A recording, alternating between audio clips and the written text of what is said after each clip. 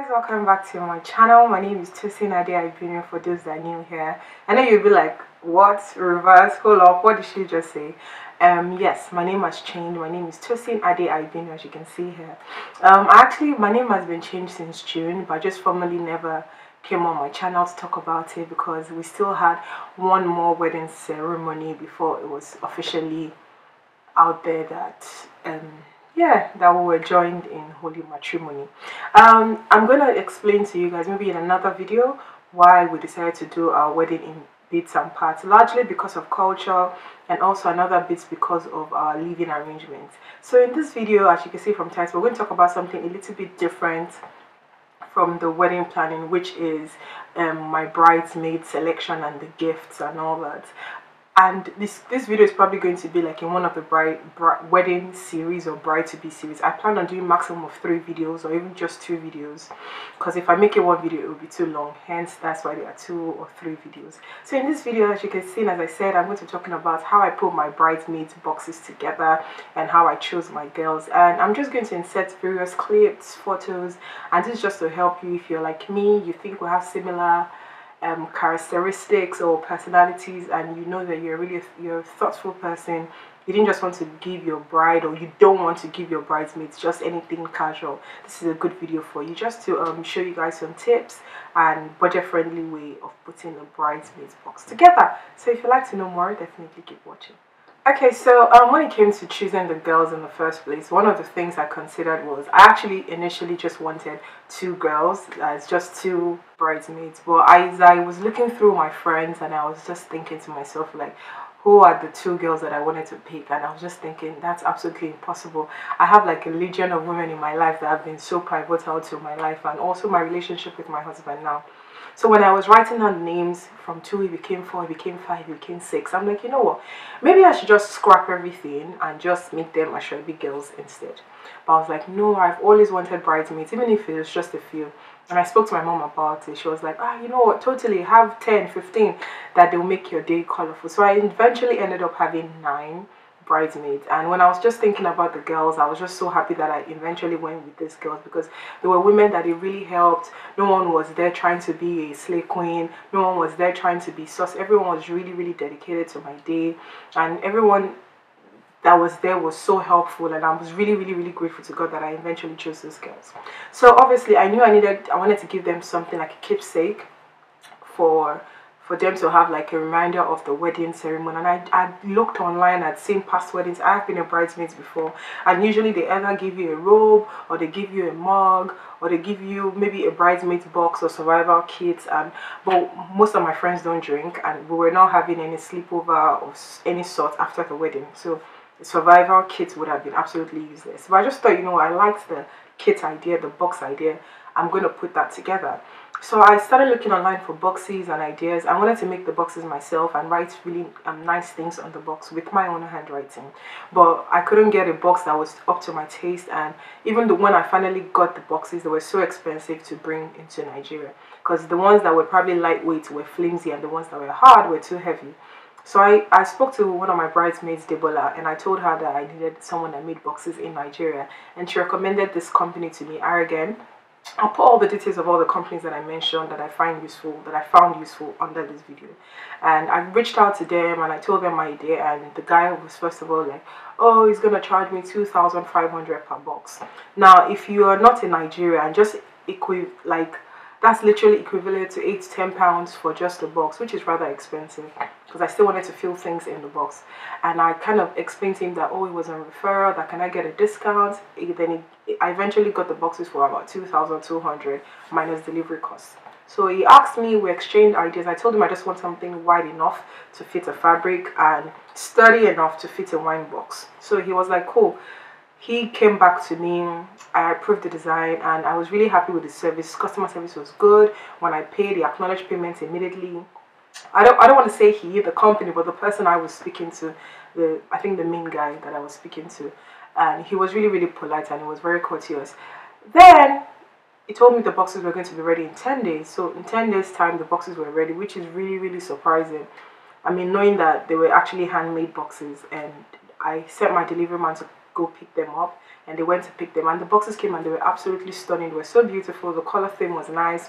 I chose for our wedding crest to be in the middle of the box and then white with a gold ribbon. But i noticed that when the boxes came some parts of the boxes are torn. And I was just like oh, so livid. I, I, complained to him and he explained to me that because of the delivery method that we use, we actually use a dispatch rider. So if you're doing yours, make sure you go with a car or a van. Don't use like a motorcycle to go and pick up your boxes. They will be ruined. And I think it also rained that day. But he offered me replacement boxes. So he asked me how many wasn't useful. And I said four. And then he offered me replacement boxes like another one week, which was really good. So when I got the boxes, I figured that all the boxes were the same. There was no way to identify like whose box was which. So they were all the same boxes. So I was like, let me just print names on them. And I'm a very handsy person. So if you're watching this video thinking of how to make your bridesmaids boxes, you should try to be as DIY as possible. I would have needed to turn the boxes back to have the names printed. But I just thought to myself, I had sticker paper. Sticker paper is like A4 paper for print. And I bought them on eBay. I'll put links on where I bought them in this video as well. I bought stick, sticker paper and then I went on Canva. Canva is a really good graphics design website. And I designed like all, I just wrote down all the names of the girl with like with little hearts. And I had them printed out on an A4 paper. I'm just going to use like my mirror as a, so let's say this is an A4, A4 paper. I had the names like this and I had them printed out. So I just used the scissors to cut it into like tiny squares as you can see in this video now and it was I pasted them on each box. So I was able to identify which one was Mercy's, which one was Tolu's.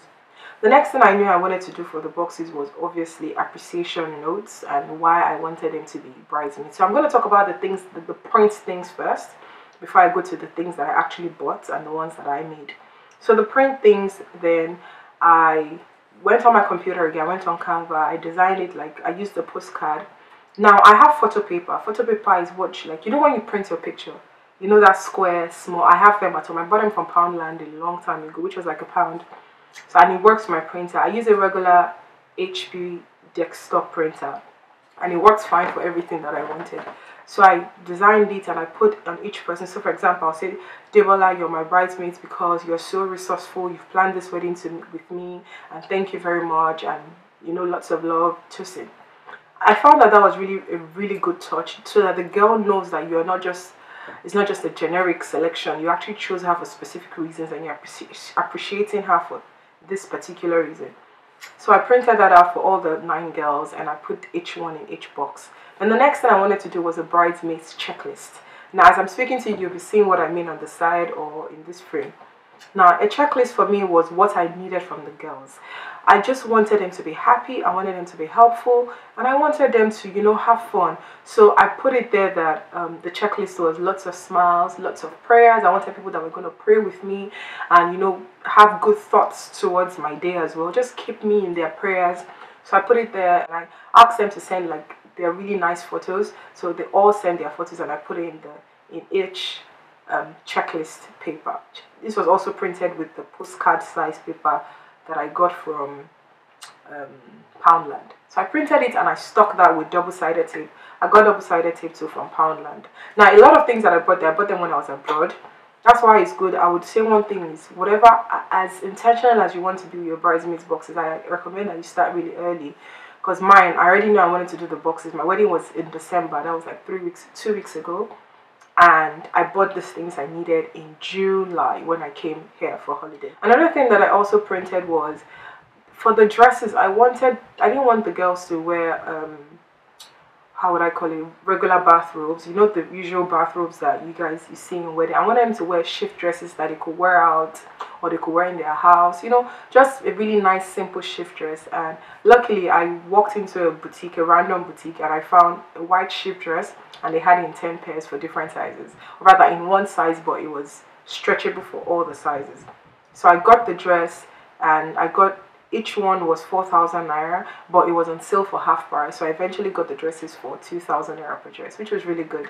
And I got for all the nine girls. And then I wanted labels because the labels that came with the dresses had this like Chinese ching chong, and I didn't want that.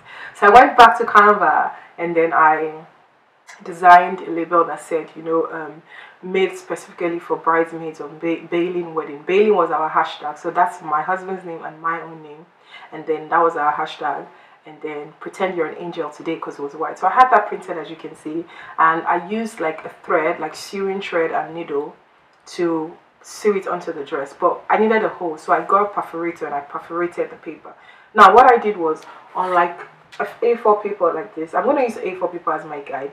I made the design but I how would I, I, I duplicated it on the paper or replicated it on the paper. So this one design, it was here, here, here, here, here. So I had about nine designs, actually more, almost 20 designs on one A4 paper. No, one design in 20 places, but I just needed nine. So I just cut out the little size that I wanted, literally two to three inch. I perforated it and then I sew it onto the fabric. So that was that for the dress. Uh, the next thing was me brainstorming the exact items that I wanted to be in the bridesmaids boxes. Now, I wanted it to be a couple of things that represented my own personality. So I already knew I was going to give them something from makeup, something, you know, that they could drink. I, went, I knew I was going to give them a specific gift that was the main gift besides the shift dress. And I knew I wanted to just put like a little, uh, some other things. So I started researching again of, you know, I wanted jewelry. I'm thinking of, I wanted to do bracelets, but I couldn't find, or the ones that I found were too expensive. And I decided like, hey, you know what, why don't we get customized necklaces like the one I'm wearing. Mine has my name. I'm going to show you guys this as well so you see what I mean. It has my name on it. So I wanted each girl to have this. So I eventually made this for them and for all the girls. So 10, including myself. And I started researching. So in Nigeria, everyone that could do like engraving on metal plate necklaces We're charging so much 15,000 per girl if I'm going to do that for nine girls that's going to cost me my arm you know so I started going online and I started checking. Luckily for me, I do business with people that are from China. So I knew that if I found out from China, I would find someone that could offer the service. So I stumbled on this company. They were willing to help me, but it was it was affordable, but it was going to become extremely expensive. I mean, I'm talking about hundred dollar per girl if I was to ship it to Nigeria. And as God will have it, my good friend Tolu was traveling to China for business. So I just asked her if I could have it delivered to our house. And then we I agreed the design with the printer. I spoke with them, we agreed on a price and a discount. And because I was making 10, I told him it was for my wedding and he shipped it to my friend's hotel. The guy, when I when I approved the designs for the necklaces, he was like, oh, that can I see a picture of myself and my fiance? As I said, I told him it was for my wedding. And I was like, okay, yeah, sure. So I sent him a picture of myself and Byron from our pre-wedding shoot. And he was like, oh, it's so nice. He's going to send me a free gift. So when the necklaces came, he actually put this, it's already on my house key. Can you see like their keychains? It also comes with a long necklace like this in case you want to wear it as a dog tag. And I'm gonna I'm gonna come closer so you guys can see what I'm talking about. This this also came in its own box, and I just thought it was a really really unique gift, and I was so happy with that as well. And I really I was so appreciative when the necklaces came to Nigeria. They were really beautiful. Also, the guy who took a step further and engraved my name on the boxes. So each necklace box set from Tosin, which was really thoughtful, just made it look more presentable like a gift. Now the next thing for me was also decide all the other items that I wanted wanted to be in the box besides the necklace and the dress. Now we have two gifts. So I wanted obviously as I said something to drink and like gum. So I got gum, I just got a pack of Mentos gum. I removed it from the sleeve that comes with the gum. So just the tablet looking type. And then I had this little butterfly papers that I got from eBay as well. And I just put gum on it so that they know it's gum. And then I stuck it on it with double-sided tape as well on the and the gum then it was in the box. Also another thing that i did was i gave them wine bottles that was customized. So my aunt like she owns a gift a wine shop a wine shop. So i went there and then i picked a, a pack of wine that i wanted. I think i got it for maybe 7000 naira for a pack of 12 bottles and i just wanted nine as i said so I brought out each bottle of wine. I wanted to like start cleaning off the label and then start thinking of how I was going to get labels. But this is where my sticker paper came in handy as well. I just designed it back to Canva and I put, you know, it's grape juice, like especially for you from the future Mrs. My last name, and then which is on the bottle as you can see. So when I just printed it out, as I said, let's say this was the A4 paper each sticker was about this thick because of the width of the wine bottle's original label. So I, each paper took about four of this. So one, two, three, four, like that. So like each A4 paper had like four designs here. So I would really say, you say if you're good with graphics, it will be easy for you to get all these designs and choose like a color scheme based on the item. So I printed out on sticker paper. I let it dry a bit because the paper was a bit, um, the ink takes a while to dry on the sticker paper. And then I just cut it very neatly with the scissors and I put it around each bottle. So I did that. Let's say one A4 paper gave me four labels. I did it about three times and I just had that label done. Obviously, you make mistakes, you remove it, you place it properly. So the wine bottle was set. The next thing I wanted to give them were obviously earrings that we're going to wear for the day. Now, my goal for the necklace, like necklace like this, was for them to wear it with the sundress, with the shift dress in the morning for like um, the pre-wedding photo shoots for the girls, and then the earrings were for them to wear um, as on the bridal train. So I went to Lagos Island Market, which is very popular and it took me like let me say 20 minutes to find like really nice earrings that I wanted in the quantity that I wanted. So the issue wasn't finding the earrings, it was finding someone that had up to 10 pairs with them or 9 pairs with them. So I finally found this lady. She told me that she only had about 5 but she would go and look for for me. So I waited in front of her store. She went, she came back, said she found two more. I was like, no, if I don't find 9, I can't buy any one of them. And she was like, okay, wait. And then she went again and she came back. So I was able to find 10. And I got each for about 800 naira, which is really fair. That's about two pounds And it was really beautiful. So I was thinking, okay, you know what? I don't want it to be with the packaging that I came with. So I went back to my computer. I did another design as well with each girl's name. And then now I have a, it's, you're to take a look. It's to eat all your ink. So just prepare if you want to do a DIY. And I find that it's cheaper to do a DIY because if you go to these companies that they print or a printer, they will tell you that they can tell you they'll print one for you for a thousand naira, which is so expensive because for them, the higher you print, the cheaper it is. So I printed it out, but this time I used my photo paper because it's a bit thicker. And then I used T-pins. T-pins is what they used to like. I'll put a picture here. Or you can just use um, push tack board, those colorful push tack pins. And I used it to pierce the paper. I would have used the hook, that the earring hook itself, but I didn't want it to bend or anything. So I just pierced it and it was really nice The T-pin was so neat. It gave it a perfect circle. And then I just put the earrings per each girl's name and I put it in the box. Another thing I wanted to give them was also um, bathroom slip, well, bedroom slippers. Like, let me show you what I mean. I have my own pair. So, sorry to be something like this. Mine says the bride, the and the bride on the other legs, but I wanted this for all the girls as well. So I went to an Amazon, I looked, I went to eBay, I finally found a seller. I'll put the links below.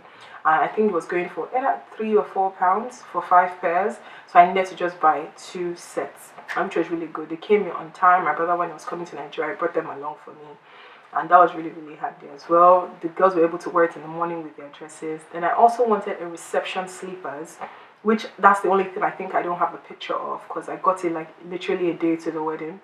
And I went I met this lady on like in the market and I asked her that can she get me 10 pairs of white flowery slippers? And she got it was so beautiful. And maybe by the time I'm editing this video if I can ask my friend to send me a picture of her own pair and it was really useful because the girls changed into it at the reception when they were tired of wearing their heels. So they had that in the box. I did not provide shoes for my bridesmaids. I asked them to just come with any silver heel that they had but preferable like um thin straps just so it's not too bulky on the dress. And yeah that was that. Another thing i gave them was mac eye pencil. I bought that also at the store. I got mac eye pencils for all of them and eyeliner rather. Then also i put candle like tea light candles. I had a bag that i bought i think during my introduction. So I just took out a few and I put it in each box. And then I also put petals. Petals are so affordable. They're like, I think 150 naira for like almost 200 pieces. You just have to separate them. Like, I don't know how they come, but that's how I just separated I put in the box. Also, I put crepe paper. So crepe paper is like colorful tissue paper that when you buy new shoes, you know how they come in the box. But I found that at Blenco. Blenco is the same store where I got the supplies that I used for my DIY bridesmaid hangers. I don't know if you haven't watched the video, please click the annotations above and make sure you watch that video. It's really helpful. And they have like an art supply store and I'm really conversant with the place. And I got crepe paper for, I think it was 600 naira and I got just two packs, although one pack was enough. And I got as blue, so I put that at the to separate from the white dress and the wine bottles just so that in case there's any spilling. Wine bottles they come really well sealed but I wasn't about to take chances because the dresses were white. So I got that as well. Another thing that was also a hit with the girls was the mason jars. Now mason jars are sold like practically everywhere in the UK but in Nigeria it's such a hot cake item. Like I think even vendors use it for like cocktails and Chapman and all that. So it was really hard for me to find mason jars. But during my introduction ceremony, I actually went deep into the market. Like I can't remember the exact place they call the area, but it's called I think if it's not Akmogbon, I'll I don't think it's Akmogbon. It's somewhere inside Lagos Island. I'll, if I remember the name at the time of editing this video, I'll put it there. If not, I apologize. And I was able to buy. I needed about seventy pieces. I was able to buy, I think, two cartons because each one came in a pack of um, 24. I bought three cartons, yeah. I think one came in a pack of 24. And I was able to buy it. So I'm not sure of the individual prices, but if I divide it, it came up to about, let me say 300 naira per, per jar.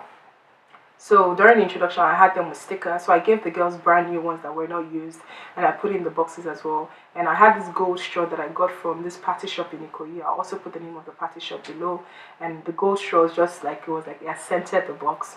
And yes, that's I put that in the box. I don't think anything else I miss. Yes, I put a hair tie because the hairstyle for the day was a center part like this just have your hair to the back like you can see in this picture again. And I wanted all, of them to have like the same hair tie just in case someone did not come with theirs so I bought a pack of hair tie as well and I put it in nylon and then I put it on top of each box.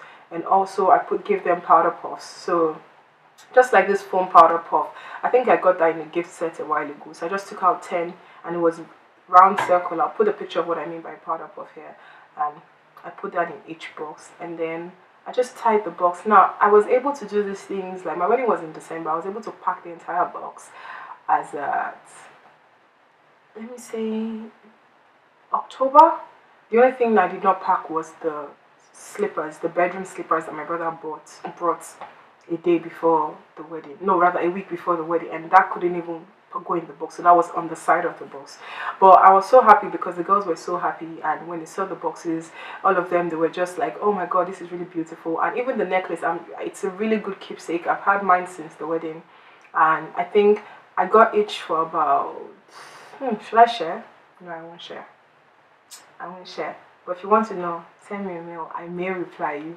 Anyway, so I got the necklaces and yeah it was really good. I was really really happy that. Another thing i would say is if you calculate like everything i've mentioned that i spent money on in this video from the dresses to the box to the necklaces this was the most expensive the necklaces. And this is even minus the main dress they wore on that day for the wedding itself which i i made for them. That was custom made as well the bridal train dress.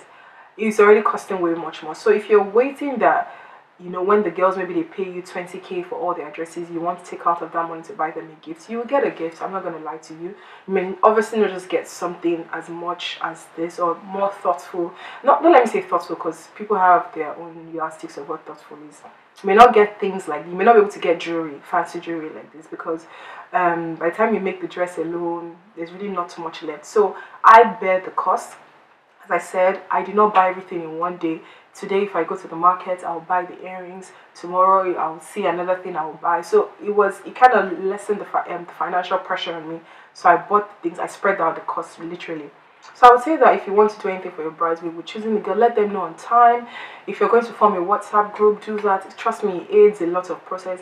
We literally did not have any misunderstanding in the group because I knew what I wanted. I wasn't waiting for anybody to tell me what they wanted. I know people would be like, ah, I want the girls to be happy if you're having more than two girls, you can't really leave the responsibility of, oh, they should choose a style.